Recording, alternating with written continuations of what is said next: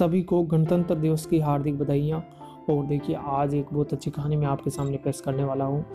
School के लिए वरदान व लोगों के लिए मिसाल बनी प्रधान अध्यापक। इसकी पूरी की पूरी कहानी है जो मैं आपके सामने प्रस्तुत कर रहा हूँ। बहुत अच्छी कहानी है, रियल कहानी है और ये आज के दिन में अखबार के अंदर प्रकाशित हुई है। तो देखिए, सुनिए। कि निजी स्कूलों की प्रतिस्पर्धा में अव्वल रहने एवं छात्रों का अध्ययन के प्रति आकर्षण पैदा करने के लिए विद्यालय की प्रधानाध्यापिका ने स्वयं के वेतन से एक लाख रुपए खर्च कर विद्यालय की सूरत ही बदल दी। राजकीय उच्च प्राथमिक विद्यालय कहारों की ढाणी तन बाजारों ने उत्तम सौंदर्यकरण के साथ अन्य स्कूलों की तुलना में अध्ययन एवं स्वच्छता में अपनी अलग पहचान बनाई।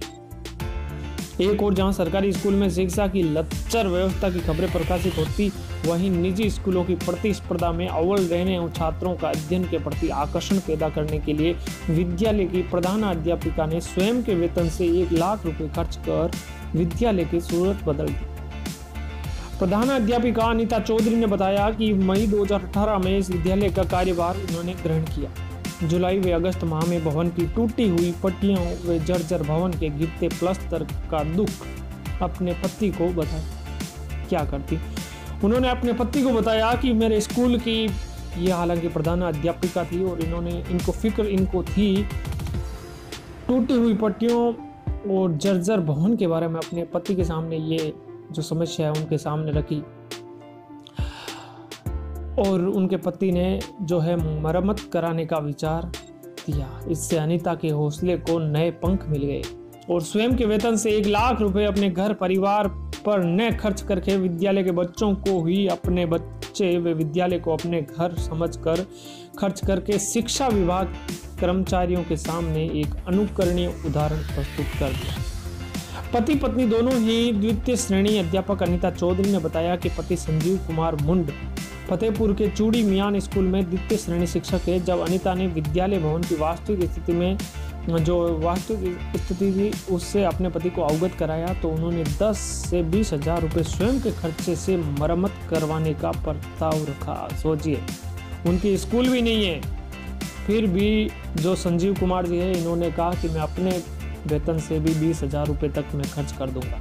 अनिता ने प्रस्ताव सुन एक लाख रुपये विद्यालय भवन पर खर्च कर दिया। पचास पचास प्रतिशत से ज़्यादा है बेटियों की संख्या। विद्यालय में 210 विद्यार्थियों का नामांकन है, जिनमें से 120 बेटे हैं। इसी के साथ 35 आंगनवाड़ी के बच्चे भी इसी में, जो ये भवन है, इसी में पढ़ते हैं, जो बाजौर क्षेत्र के मिडिल स्कूल में सर्वाधिक छात्र छात्रा अनुपात है। ग्रामीणों का कहना है कि आज तक ज़िले भर में किसी भी सरकारी कर्मचारी ने अपने वेतन से एक लाख रुपए खर्च नहीं किए। सदस्यों ने भी इससे जो है प्रेरणा ली। राज्य के उच्च प्राथमिक विद्यालय की शिक्षिका स्मिता केटारिया, ये कटारिया लिखा है सॉरी और वह सुशीला देवी ने बताया कि प्रधान अध्यापिका के कार्य से प्रेरणा लेकर विद्यालय के 155 असमर्थ बच्चों को स्वेटर स्टाफ की प्रधान अध्यापिका सहित तीनों शिक्षिकाओं ने स्वयं की तनख्वाह से नौ नौ हज़ार रुपये दिए। पिपराली प्रधान संतोष वर्मा की अध्यक्षता में आयोजित कार्यक्रम में ये बांटे गए।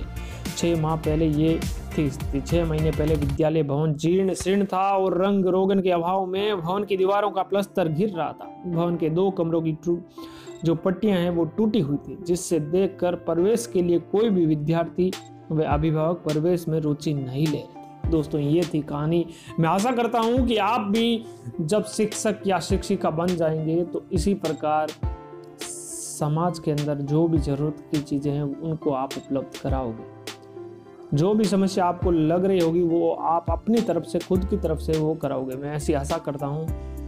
और दोस्तों, इसी आज के आर्टिकल के साथ मैं अपनी वाणी को विराम दूँगा। मिलते हैं अगले वीडियो में। तब तक के लिए जय हिंद, जय भारत। Thank you